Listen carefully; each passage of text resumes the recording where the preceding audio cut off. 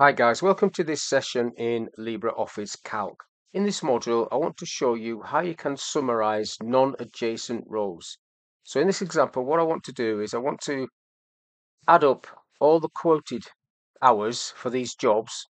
So basically, I want to add up all these rows, which are not next to each other, like so. And then I want to do the same for planned and same for actual all the way down. Now, there's only four jobs listed there, but there could be 400 jobs. I could use the sum function for some of the range using a comma between or a plus between, but there's a very clunky way of doing it. So what I want to use is a sum if function, and I've got a little table over here to let me do that. But before I start, I want to create some named ranges, and the first one is going to be column F. Clicking on column F, I'm going to call that status, pressing enter to name it, and then these need to be called fix1. Now, you can't have a space or fixed fix underscore one I'll have to do because otherwise it'll go to a cell reference. Press enter on that one. And then same for that, fix underscore two, enter, fix that one, fix three, fix underscore three, press enter. So those are all named, it tells you the names in there. So you've got one, two, three in status. I also want to name this little list. This is so I don't really have to mess about with dollar signs. List, call it list, press enter. Right, so the sum if function, starting in underneath fix one in this table, is equals sum if, open the bracket. The help comes up there. What's the range? Well, I want you to look down status, status, comma, when you find what's in list, so I could click on that, but I'm just going to put list because that is the name and it'll look at that first line and then the next line it'll look at planned then actual. So I'll put list there. So look at list, comma, and then when you find it, I want to add up fix one. So fix underscore one.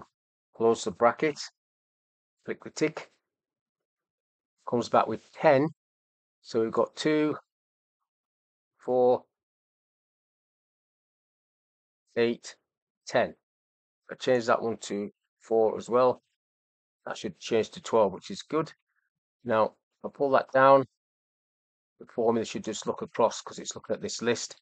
So there are six planned. So let's go for planned 1.5, 1.5, 1.5, 1.56. So that's working. That's working. So I do the same now for fixed 2 so it's equals sum if open bracket look down status comma look at the list comma and then add up fix underscore 2 in this one.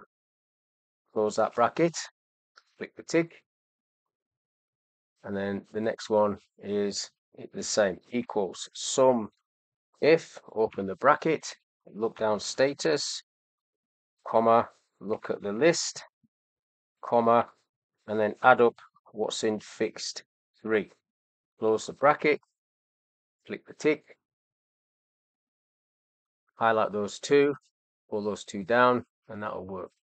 So now if I create some more data, because this is a named range, if I type some figures in there, so that's on 12. If I type 2, that goes up to 14. For 2, 15, 2, uh, oops, wrong way. Two, just checking that that's picking it up. So they all moved and they all added it up because it's looking down the whole column all the way to the bottom.